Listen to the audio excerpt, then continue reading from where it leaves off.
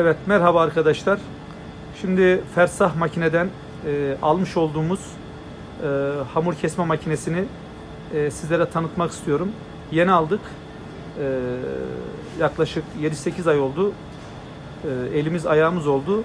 Size kısaca bunun nasıl çalıştığını göstermek istiyoruz.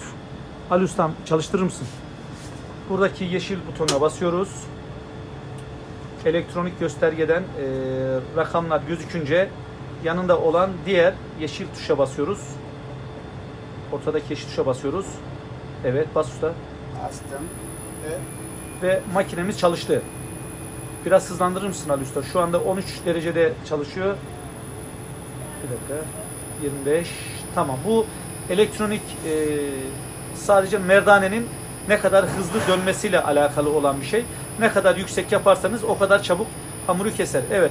Şimdi makinemiz çalıştı. İçerisine e, hazneyesine hamuru atacağız. At usta. Evet. Biraz daha büyük at usta. At usta biraz daha at usta. At. Öylece hepsini at usta ya. Hepsini at. Yat hepsini. Kaldır. Ben tutayım. Tamam. Evet şimdi hamurumuzu attık yukarıya tamamını.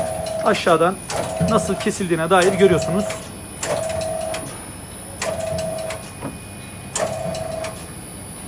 Diz usta diz. Bunlar?